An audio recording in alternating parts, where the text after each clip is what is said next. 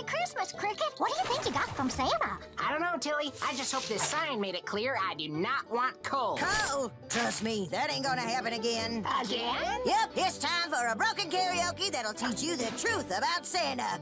He was once my sworn mortal enemy. Santa gave my grandson coal for Christmas. He made my little angel's heart just break. But your grandma's not some weak old lady. And Santa made a very great mistake. Oh my gosh. you too, Grandma? So I headed to the North Pole. I stuck a ride on the Polar Express.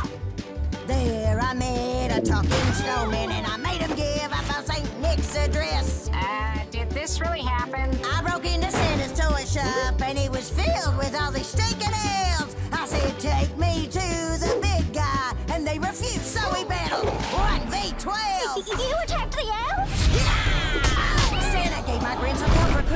Christmas. How dare he talk to torment my own kid?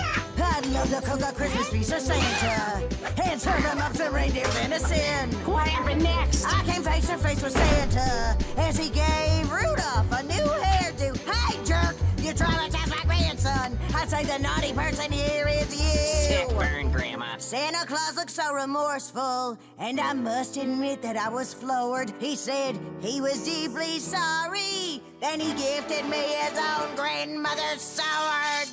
That's how you got your sword? Santa gave my grandson coal for Christmas, but he vowed he won't do that again. Once a year I go back to the North Pole, cause me and Santa Claus are now best friends. Sing a kiss. Santa gave her grandson coal for Christmas, so she gave piece